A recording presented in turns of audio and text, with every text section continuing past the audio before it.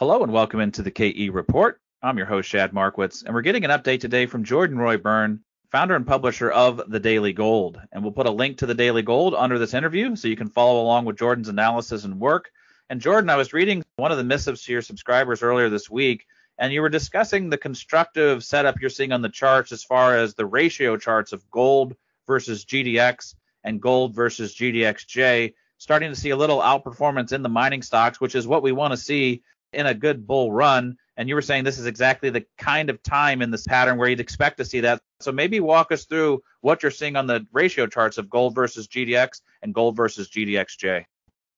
Yeah, there's quite a bit of evidence that that we could be seeing the next leg higher. And I know it you, you look at gold and you say, wait, this is still in a consolidation. It had the good rebound, but you look at the action this week, uh, not that great. Rejected at 2,400 pretty strongly. But when you look at the gold stocks, there's a number of things that are really positive that are basically hinting that, you know, this could be the very start of the next move higher. And as you noted, the ratio charts, this is something I noticed last week. It wasn't the first thing I was looking at, but I looked at these and I saw that GDX against gold, GDXJ against gold, they're kind of forming inverse head and shoulders. I mean, they're not perfect patterns, but you know they're they're decent enough that you could refer to them as those patterns. And looking at it this morning, GDX against gold, that's now breaking out. So that's not quite at a 52 week high, but it's broken out of the bottoming pattern. So that's a very good sign. I mean, I think it's an 11 month high for the sector. GDXJ against gold hasn't broken out, but that's a function of in recent months it's been stronger, and so its shoulder is at a higher point. If you look at a chart of GDXJ divided by GDX, it's actually really, really bullish. So that's another point to add on. And mind you, this is all happening when you have gold consolidating. I mean, you have gold below 2400. It hasn't broken out yet, not even close in a very short term sense. And, you know, with this type of action, you'd expect gold would be at, you know, 2550 and it had already had made a new high. So the, the miners are actually really leading here, and I'm not sure. You know, I'd have to look at the charts and look at some history to get a sense of when the last time they were really outperforming when gold was not in breakout mode, at least in a short-term sense. So it's it's very very encouraging action for the sector. Yeah, and it's a question we've been asking people for a while. Is even if gold consolidated at the twenty-three hundred to twenty-four hundred dollar level for a while, could the miners keep gaining traction on the underlying metal because they had still underperformed? So now to see the mining stocks outperforming gold and even the juniors outperforming the seniors, as you mentioned with the GDX versus GDXJ, those are encouraging signs. Something else you've written about though, and, and I'd love you to unpack this for people, is you use the advanced decline line as another indicator and just as far as a directional tool, what are you seeing with the advanced decline line that leads you to be even more encouraged? Well, earlier in this consolidation, it was making higher lows relative to GDX, and so that's that's always a good sign. Although I, I was still a little skeptical of that uh, because gold had tested 2300 several times. So a few weeks ago, I was I was skeptical of that, but I believe at the end of last week, th- there were two big moves in gold. I think after the Wednesday move, or maybe it was a Friday move. Anyway, it's not terribly important, but basically by the end of last week, the GDX advanced decline line had made a new high, and that, that was a new 52 week high. And so that had not made a new 52 week high since 2020. So it's one thing when you have higher lows, that's an important positive divergence just in terms of technical analysis. But when you make a higher high and you break out to a new 52 week high, I mean that's that's really serious. That has significant weight to it. So you have that, and look, the advanced decline line. I, I like to call it a trusty leading indicator because it is. Now it, it, it's not always perfect. I've been using this pretty actively over the last six or seven years or so, and there have been some times when the signal has not bared out. But very bullish signal at the end of last week. And so what are you seeing this week? You're seeing gold not really do that much, and yet the miners are being bought. They're moving higher. They're outperforming gold. pretty strongly this week, while gold is correcting and consolidating. So just really, really bullish action for the sector.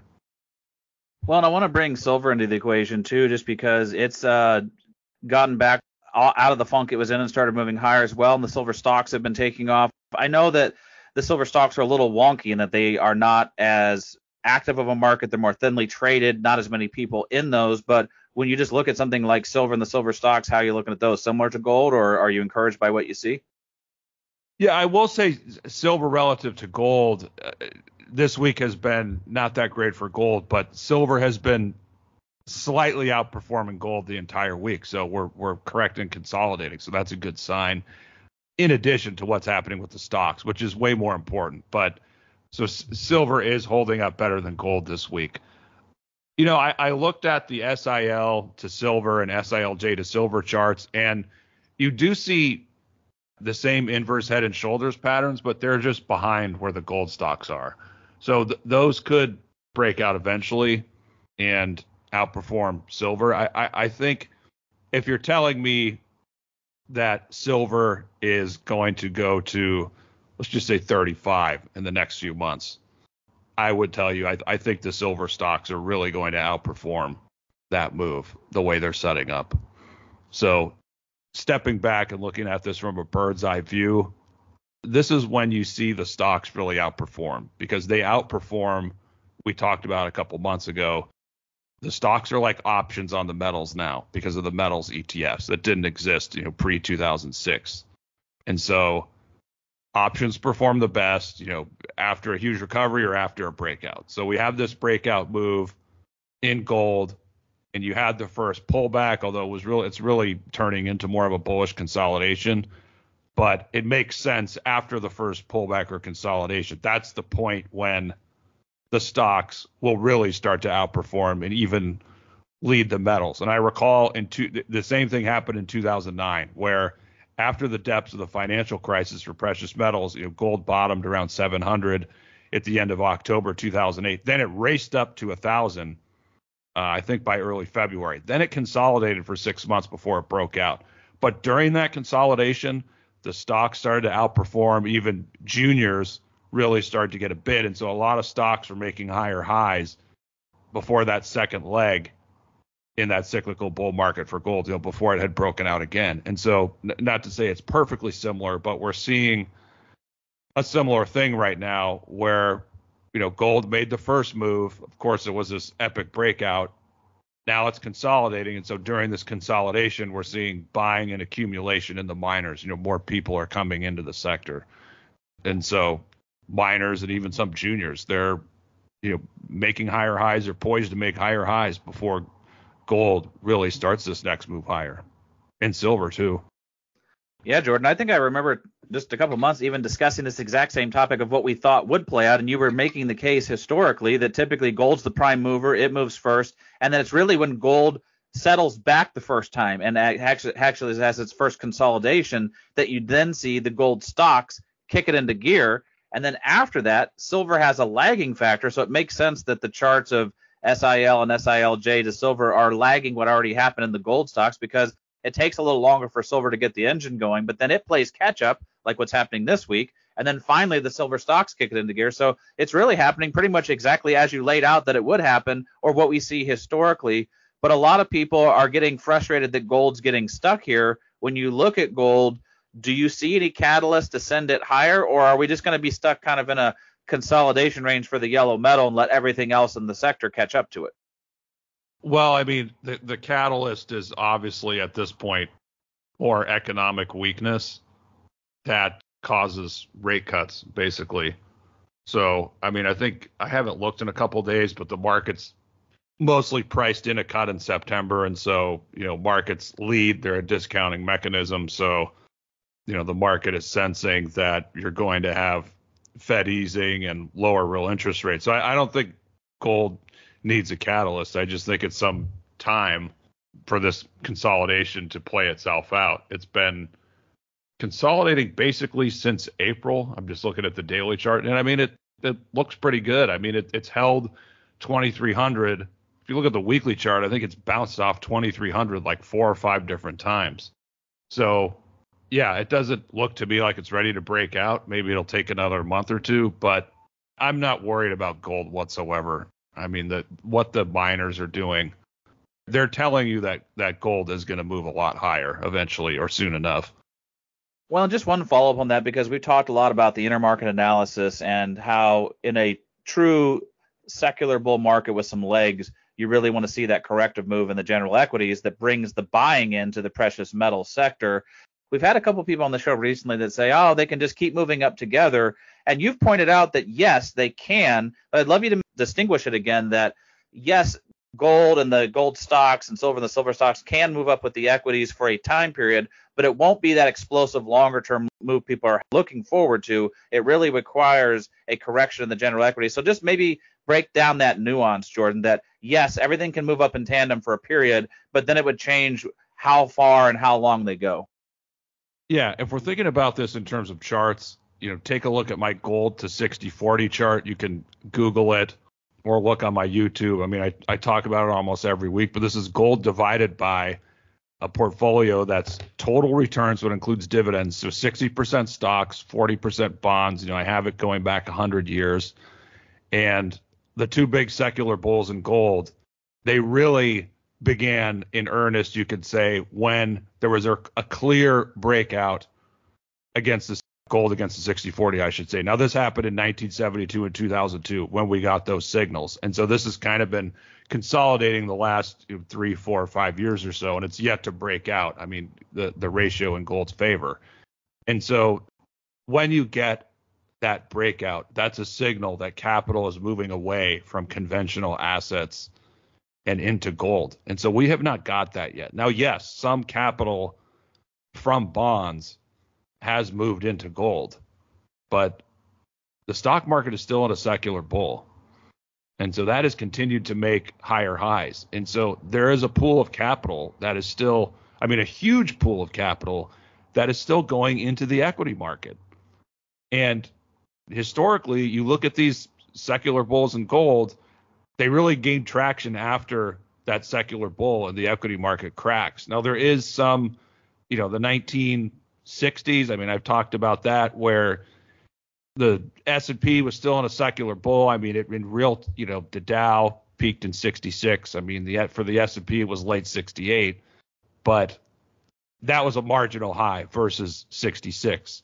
But gold stocks really took off in the 64 to 68 period. So and, and gold gold would have if we weren't on the gold standard at that point. And so, you know, my point is yes, there is some history where the two have moved together, but you know, gold stocks were really strongly outperforming at that point.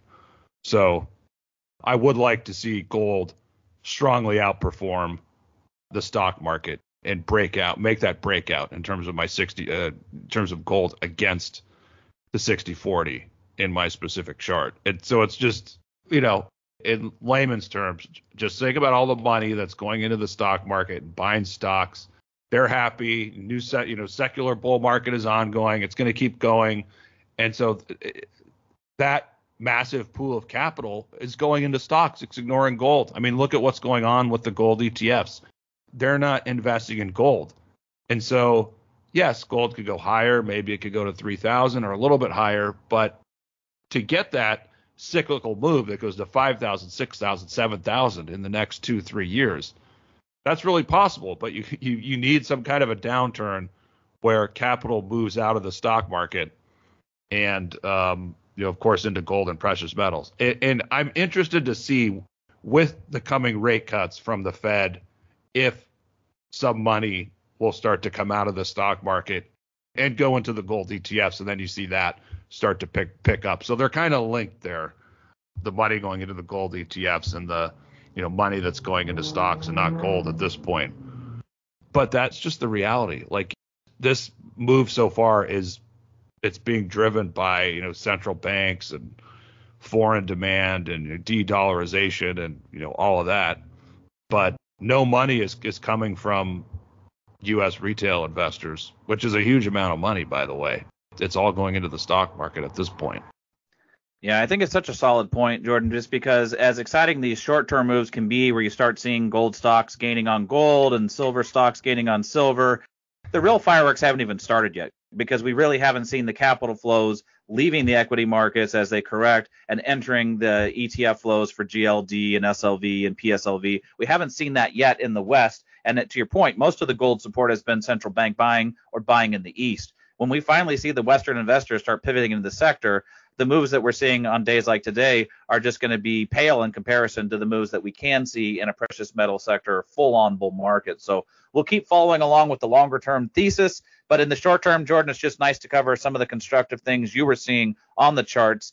And if people like getting Jordan's analysis, definitely click on the link below. It takes you over to the Daily Gold where you can follow along with Jordan's work and get these kind of updates real time.